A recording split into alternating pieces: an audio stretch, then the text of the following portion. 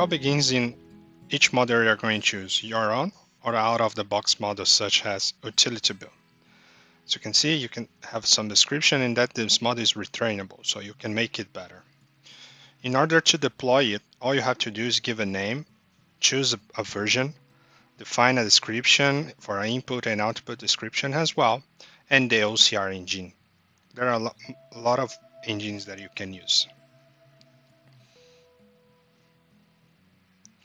After that, you can deploy this model on the document understanding framework in Studio.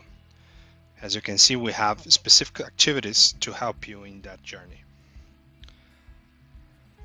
To deploy the model, you have to configure the extraction scope. All you have to do is choose the ML skill that you created on AI Center. After that, the model will extract the information and you can check that in validation station. And the robot can use that information to fill this on SAP. You can see it doing again for another document.